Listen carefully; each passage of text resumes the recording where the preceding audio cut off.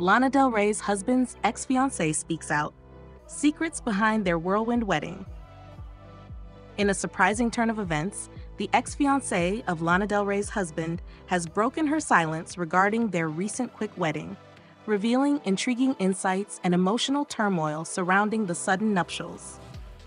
The former partner, who had been in a long term relationship with Lana's husband before their unexpected marriage, expressed her feelings of shock and betrayal upon learning about their union. According to her, the whirlwind nature of the wedding caught her completely off guard, as she had believed their relationship had been solid and meaningful.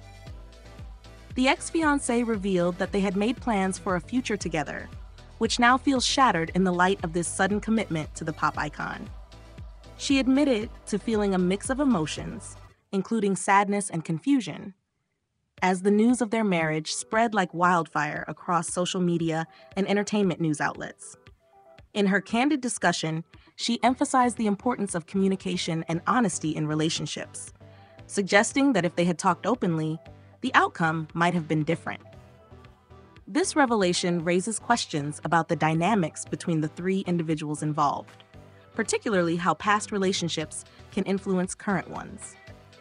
As fans of Lana Del Rey and the public alike express their curiosity about this love triangle, the ex fiancee urges those who have followed the story to consider the human.